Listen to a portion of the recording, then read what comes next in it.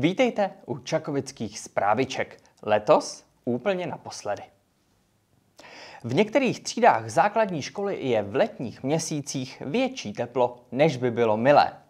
Problémy hlavně v učebnách počítačů, které ještě přispívají k tepelné nepohodě.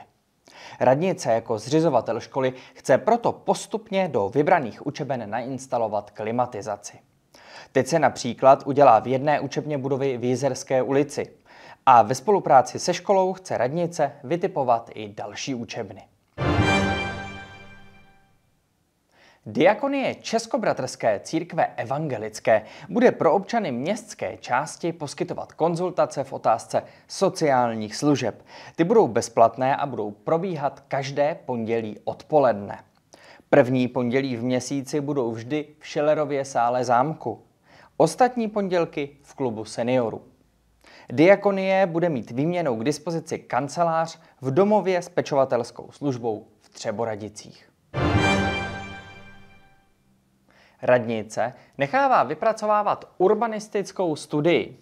Ta se týká ulice Kostelecká a bude řešit možné zastavění kolem ní. Prověřit by měla mimo jiné možnost rozšíření Kostelecké ulice a stanovit kapacity území pro různou infrastrukturu.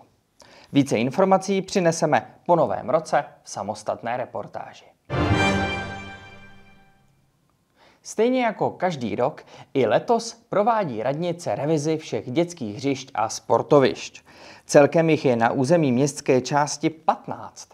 Jak už jsme informovali nedávno, radnice se chce víc zaměřit na jejich opravy. Některé proběhly letos, další jsou v plánu na příští rok. Brzký příchod zimy odložil některé plánované stavby. Konkrétně jde o rekonstrukci Šelerovy ulice. I když zbývají jen zhruba dva týdny práce, stavba se musí přerušit a to nejspíš až do března. Jinak by totiž hrozilo, že by se nový povrch musel zase předělávat.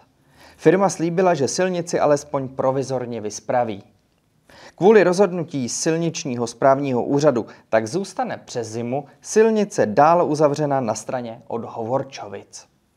Nutno podotknout, že správcem komunikace a investorem je TSK, takže radnice nemá vliv na toto rozhodnutí. Kvůli brzkému příchodu zimy se také musela odložit plánovaná rekonstrukce ulic Froňkova a Čápova.